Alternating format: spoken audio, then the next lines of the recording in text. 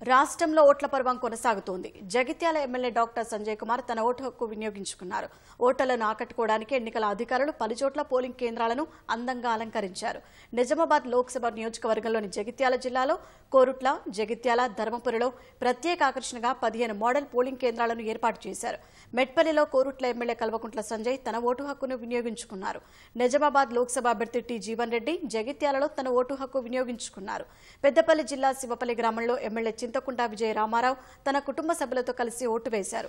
అలాగే భారస ఎంపీ అభ్యర్థి కొప్పుల ఈశ్వర్ ఆయన సతీమణితో కలిసి గోదావరి ఖండిలో ఓటు హక్కును వినియోగించుకున్నారు. అదేవిధంగా సిద్దిపేట జిల్లా హుస్నాబాద్లో కుటుంబ సమేతంగా మంత్రి పొన్నం ప్రభాకర్ ఓటు హక్కును వినియోగించుకున్నారు.